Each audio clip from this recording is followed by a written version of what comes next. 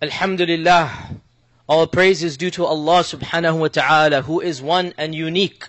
All praise is due to Allah subhanahu wa ta'ala who is as-samad, the one whom all the creation turns to.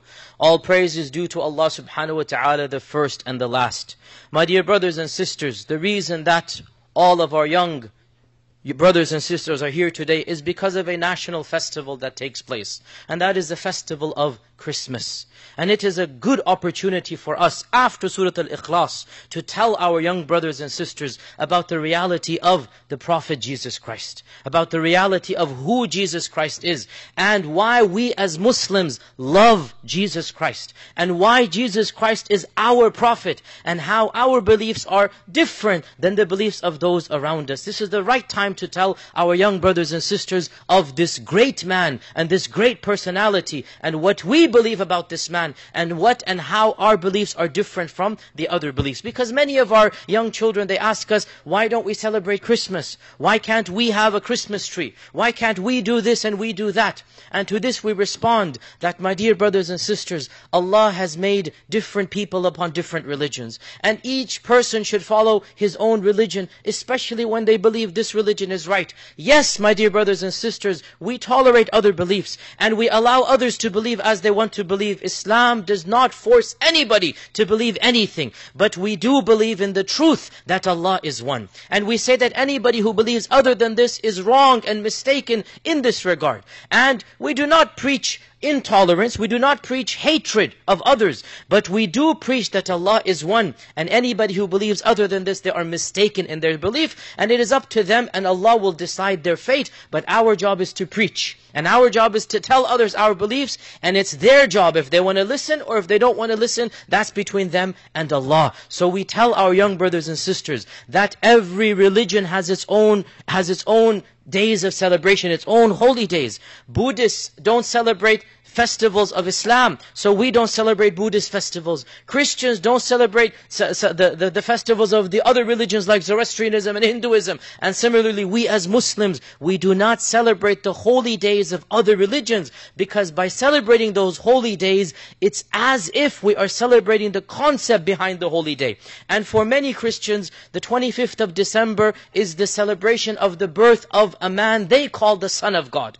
And we don't believe God has a son. So if we were to celebrate that day, it's as if we too are saying, oh, we believe that God has a son. And we don't believe that God has a son. So we say to them that we are not going to celebrate on this day, even though of course our religion teaches us good manners, and we can say to them a, a, a generic uh, statement such as, uh, may God bless you, such as, uh, may God guide you. We should not say Merry Christmas, because these phrases, could be problematic. We don't want to bless Christmas. We don't believe in Christmas. We don't believe Jesus Christ was, uh, was the Son of God and we're celebrating His birth in that manner. But we can say something generic such as, may God bless you, such as, uh, happy day today, something like this that doesn't use the word Christmas, doesn't use any Christian uh, slogan or Christian phrase. We can make a generic phrase and we as Muslims, it's a good opportunity to tell the, the people around us that we also believe in Prophet Jesus. So much so that no Muslim can be a Muslim unless and until he loves the Prophet Jesus and he believes in Jesus Christ. And it is completely permissible to say Jesus Christ because Jesus Christ is the Latinized version of Al-Masihu Isa. Al-Masih is Christ means the one whom Allah has anointed. Masih means the one Allah has wiped. Masaha to wipe. Anointed, he's been chosen. And Christos is the Latinized of Christ, of, of sorry, of, of Al-Masih. Christos is the one who's been anointed. So they say Christ is Masih. This is the English or the Latin translation. And Isa, which is the Aramaic of Isa, when they translated it to Latin, it became Jesus. So there's nothing wrong with saying Jesus Christ. He is Christ. He is Masih.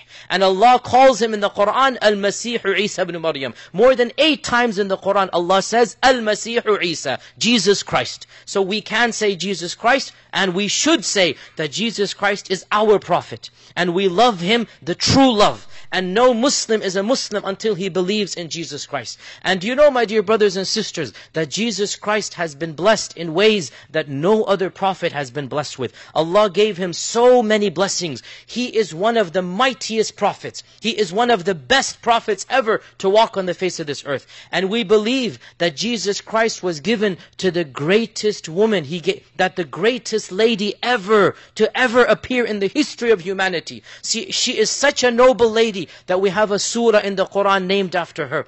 And the angel told her, and her name is of course Maryam, the mother of Jesus. The angel told Maryam that Allah has chosen you above all other women. اصطفاك على نساء العالمين. And Maryam alayha salam was the most righteous of all ladies in the history of humanity. And then of course there are other ladies similar to her or a little bit lower than her. But no doubt the number one lady is Maryam alayha salam. So we should tell the Christians that Maryam or Mary, we respect her more than any other woman. And our Prophet Muhammad commanded us to respect her. And he said that four are the women that have perfected their iman. And he began with the list with Maryam. Then he went on with Asiya and Khadija and, uh, and Fatima. But the list began with Maryam alayhi salam. And she is the only one that is mentioned by name in the Quran out of these four. By name, she is the only lady that is mentioned out of these four. And we believe that one of the reasons why she was made so holy and so pure was that when she made, when she conceived a child, when she became pregnant, any other lady, her character would have been doubted. Her character would have been doubted. How could you become pregnant when you're not married? It is a sin in Islam to to do these acts that result in, in pregnancy. It is a sin to fornicate. And any lady, when she becomes pregnant and she's not married, then clearly this is a problem. She must have done a sin. So when Maryam, and she is so pure, becomes pregnant, she is the only lady that when she says, I didn't do anything, she will actually be believed. She will actually be believed. And to add to the miracle, Jesus Christ was one of the only children in the history of humanity who spoke from the cradle. He spoke when he's a newborn infant. And it is narrated that one or two other people also spoke, but Jesus Christ was the only one who gave like a sermon. He gave a khutbah. Others, they spoke one word or two. It is mentioned one or two other children, Allah blessed with a miracle of one word, maybe a pointing or a, a sign. But Jesus Christ, it is as if He gave a whole sermon. And He told the people all around gathered that Allah has sent me, I am a prophet, that you should worship Allah, pray to Him. Allah has told me to be good to my mother. He's giving a khutbah, a sermon, as a one day old baby. And no other child ever did this in the history of humanity. And this clearly showed the people that he is a messenger of God. And Jesus Christ, he performed miracles, the likes of which no other prophet ever performed. He, as we know from the Quran, he healed the leper, he cured the one who was born blind, he resurrected the dead by the permission of Allah, he created life by the permission of Allah, he blew into a clay bird, and the bird became a living bird. No other prophet did these types of miracles.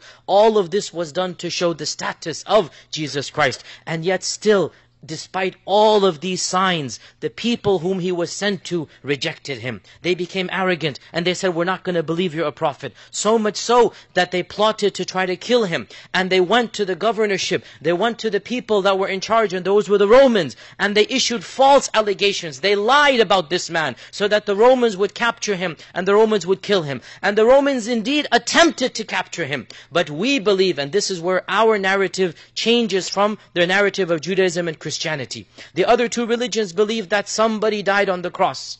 We believe that Jesus Christ, Isa, was never put on the cross.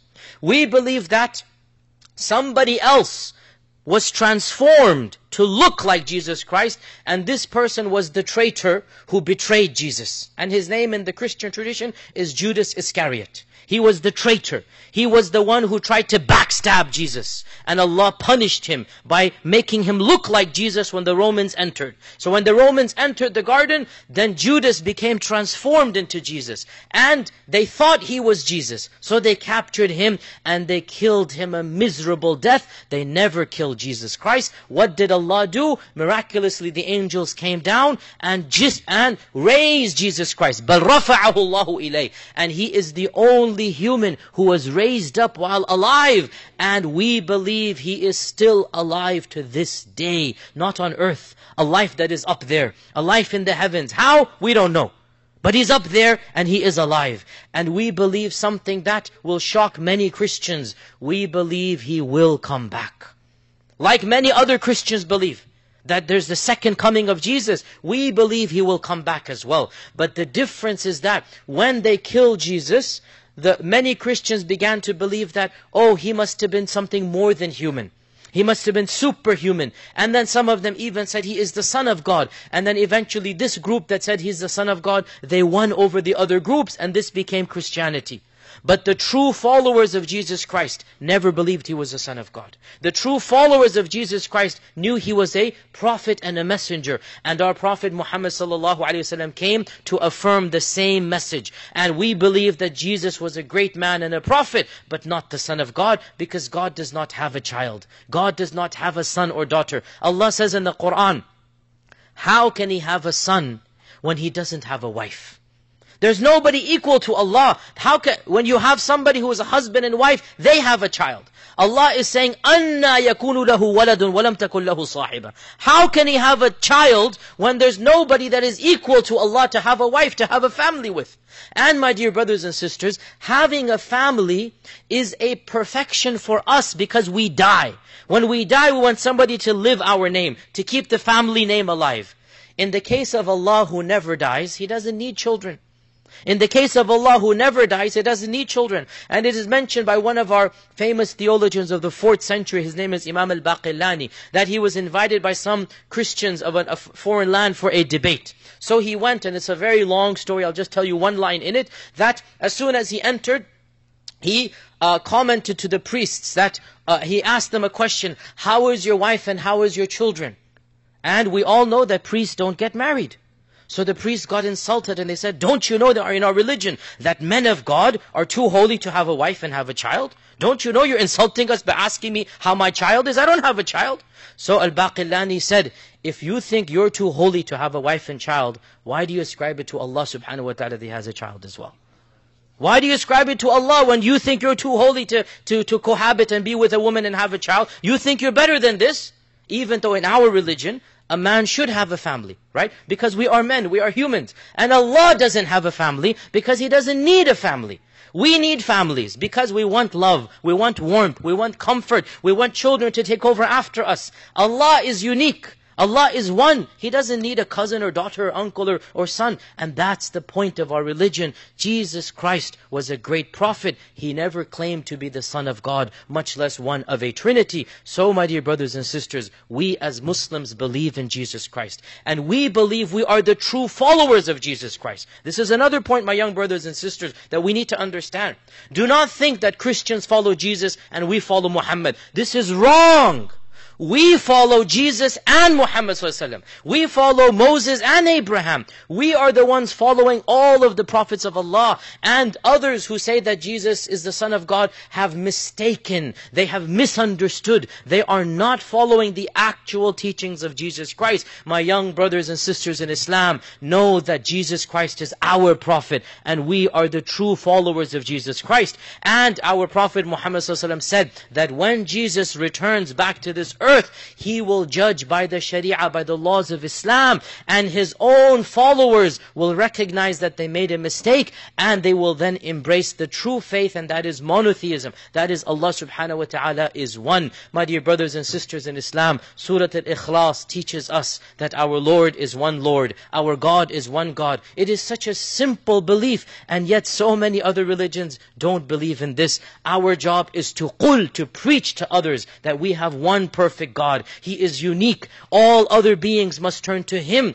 He doesn't have a child, nor is He begotten, and there is nothing similar to Him. May Allah subhanahu wa ta'ala make us of those who preach this message, who believe this message, who teach this message. Allahumma inni da'in fa'aminu. اللهم لا تدعنا في هذا اليوم ذنبا إلا غفرته ولا هما إلا فرجته ولا دينا إلا قضيته ولا مريضا إلا شفيته ولا عسيرا إلا يسرته اللهم اغفر لنا ولإخواننا الذين سبقونا بالإيمان ولا تجعل في قلوبنا غلا للذين آمنوا. ربنا إنك رؤوف رحيم. اللهم أعز الإسلام والمسلمين. اللهم أعز الإسلام والمسلمين. اللهم أعز الإسلام والمسلمين. اللهم من أرادنا أو أراد الإسلام والمسلمين بسوء فأشغله بنفسه واجعل تدميره في تدبيره. يا قوي يا عزيز. عباد الله إن الله تعالى أمركم بأمر بدأ به بنفسه وثنى بملائكة قدسه وثلث بكم أيها المؤمنون من جنه وإنسه. فقال عز من قائل عليما إن الله وملائكته يصلون على النبي. يا أيها الذين آمنوا صلوا عليه وسلموا تسليما. اللهم صل وسلم وبارك وأنعم على عبدك ورسولك محمد وعلى آله وصحبه أجمعين. عباد الله إن الله تعالى يأمر بالعدل والإحسان وإيتاء ذي القربى وينهى عن الفحشاء والمنكر والبغي يعظكم لعلكم تذكرون. اذكروا الله العظيم يذكركم واشكروه يزد لكم ولذكر الله تعالى أكبر وأقم الصلاة.